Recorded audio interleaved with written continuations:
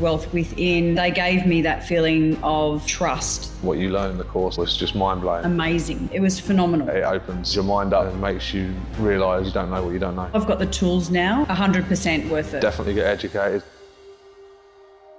Hello and welcome to Wealth Within's weekly hot stock tips. I'm Filip Tortevski, Senior Analyst at Wealth Within, and we're Australia's most trusted stock market educators.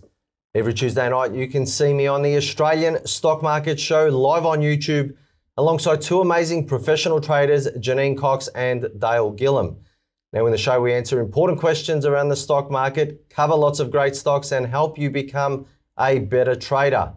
Now, today we'll unveil what's hot and what's not for you, our viewers. But before we dive in to this week's stocks, I am joined today by Dale Gillham. Good morning, Dale. Hey, what a great week we had last week on the market. Yeah, we did. Market was up. I keep getting more excited about it.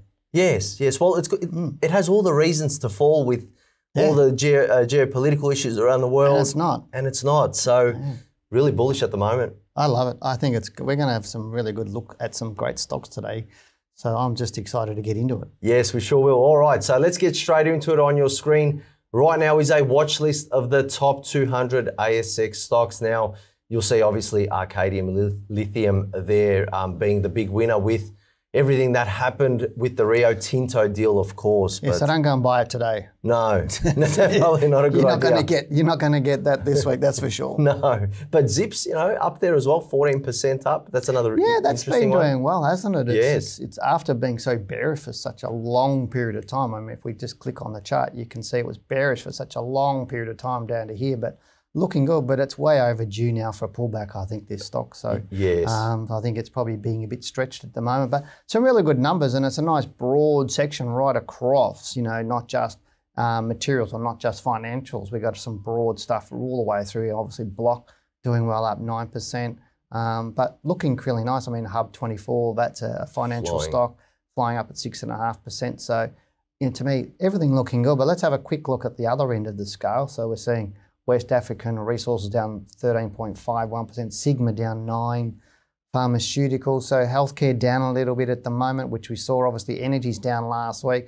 Ampol, the former Caltex, is down 4.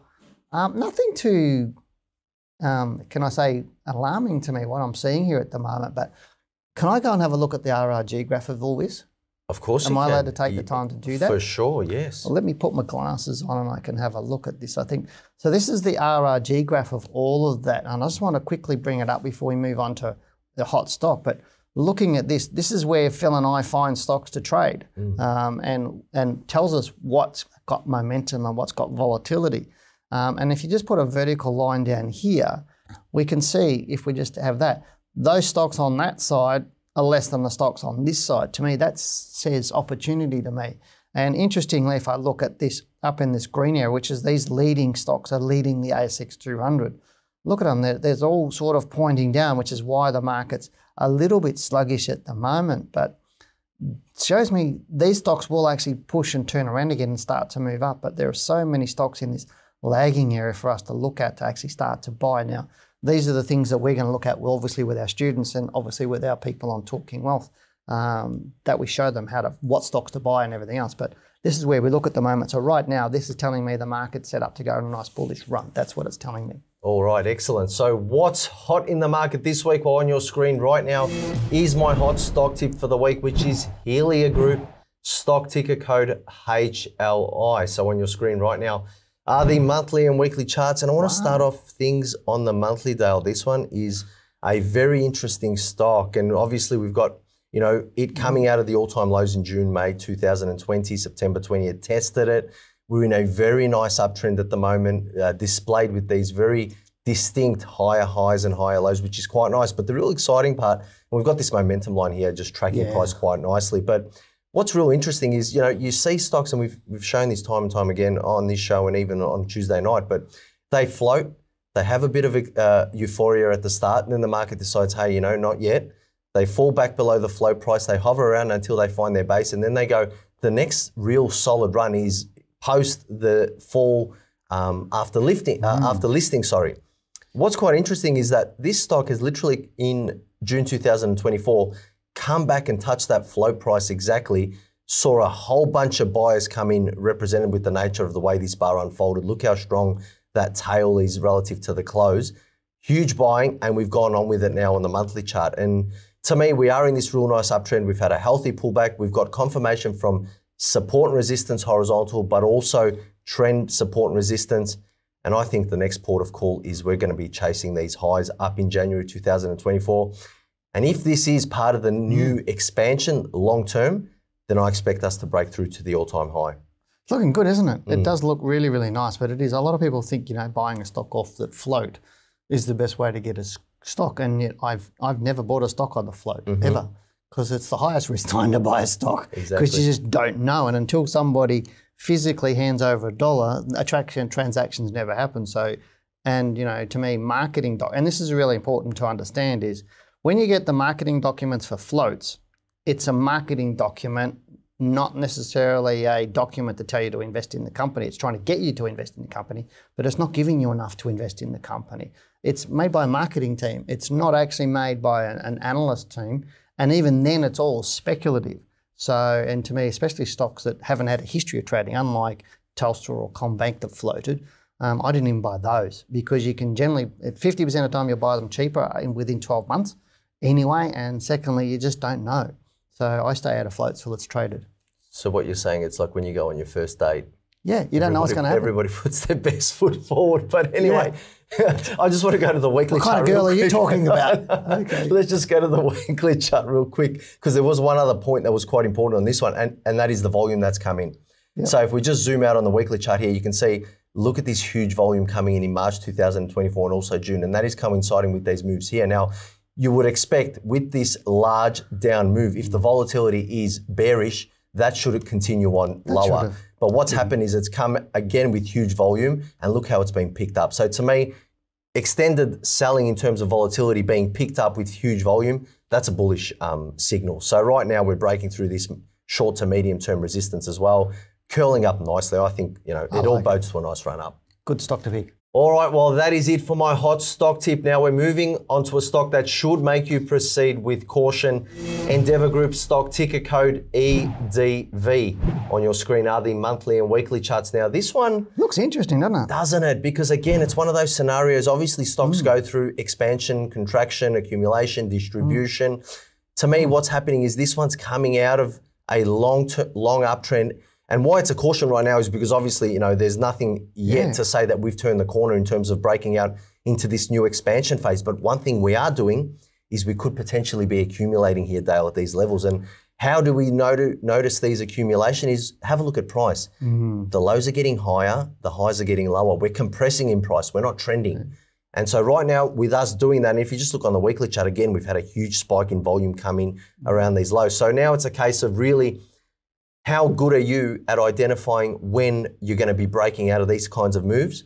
And what strategies are you going to have in place to take on that new expansion phase when it does come? That's all. Well, look, I mean, have you ever heard of P's and B's? No. uh, well, the peas that you eat. And, no, no, no, oh. P's and B's. If you go and look at the chart, well, let's go and have a look at the chart.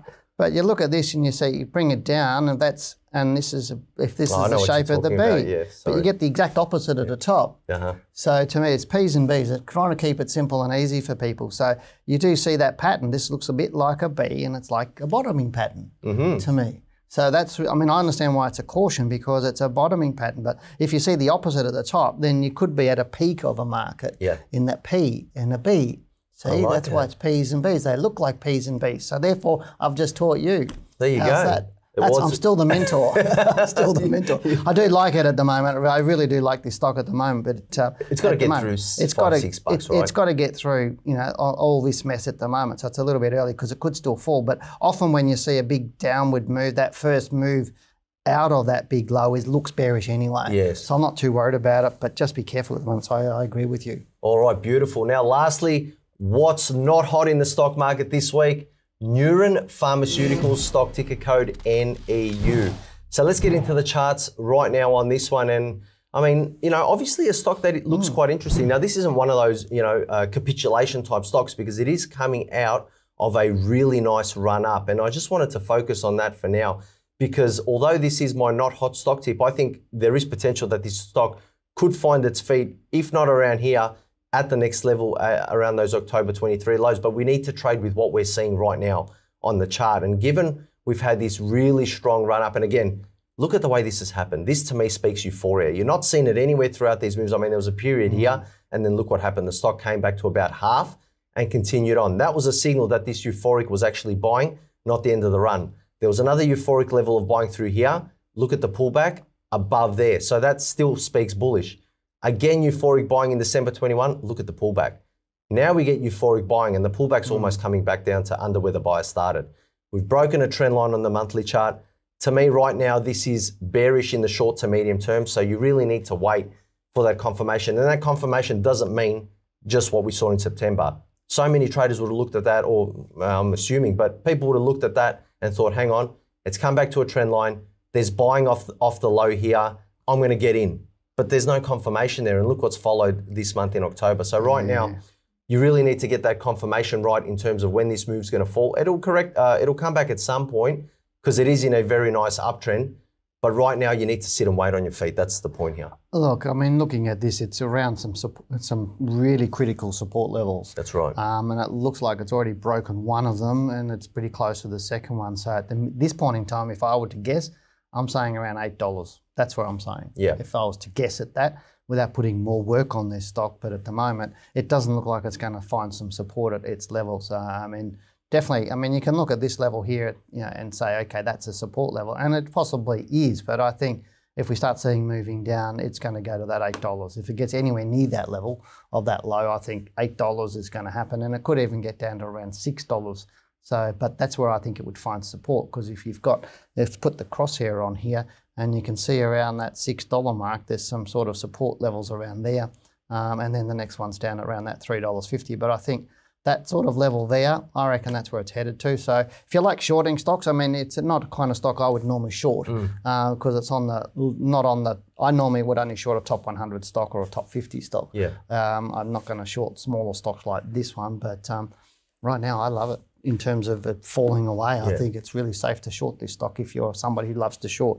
And, but and, be careful with it. Yes, and the important part, as you said, it's obviously mm. one thing identifying where the support and resistance is, and then it's mm. a whole other ball game identifying how you're going to nominate or identify that turn with confirmation. Oh yeah, and then trade the actual stock in terms of your rules around that. Yeah, and a lot of people don't understand that. Like they go, oh, you know, if people, ninety percent of people can't trade short.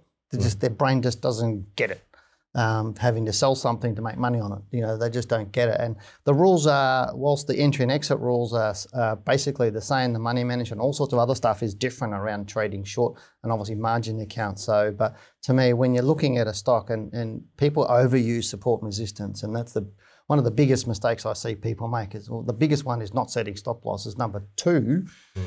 is not having a trading plan, and number three is using support and resistance for everything basically. Mm-hmm. Uh, they're the three big, big, big mistakes. So you know, try and avoid those if you if you possibly can. But uh, as I said, I think this is bearish at the moment. So good pick for a bearish stock. Wise words. All right. Well, thank you for watching this edition of Wealth Within's weekly hot stock tips. Remember to tune into the live Australian stock market show on YouTube from 7 p.m. Eastern Time tomorrow night. Now, to find us, just type Wealth Within Live in the YouTube search Remember to have your phone ready to call in live to speak to us so we can answer your questions. The number is 03 9290 or you can email into the show right now by sending your questions to info at wealthwithin.com.au.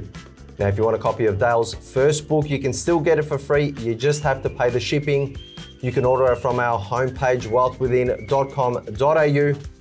And I hope you've enjoyed today's episode. And thank you very much, Dale, for your excellent comments today. No, my pleasure. I mean, you know, I love when they, we're looking at some of these stocks. There's some great stocks they've done really, really well, Phil. For, uh, and really, I do hope people take some of the advice we're giving you because you will be much better trader. But I look forward to chatting with everyone on the Australian Stock Market Show live on YouTube. Remember, Tuesday night from 7 p.m. live on YouTube. So head over there. All right, thank you very much, Dale. And thank you, everybody, for watching. For now, goodbye, good luck, and good trading.